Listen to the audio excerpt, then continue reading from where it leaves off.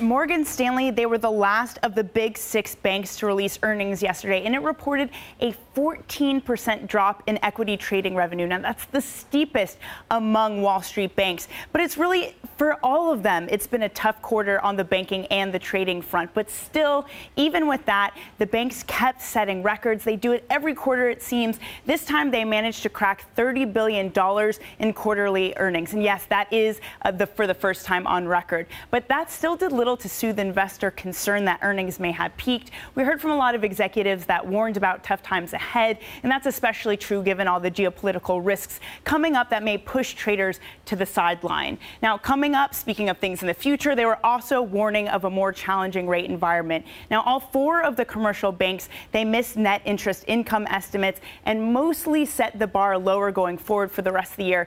And the Fed hasn't even announced those rate cuts yet. Clients, they're also getting more cautious. We saw that very clearly, and they're driving down market activity. So banks trading revenue as a whole fell 8%. That's the fourth consecutive decline.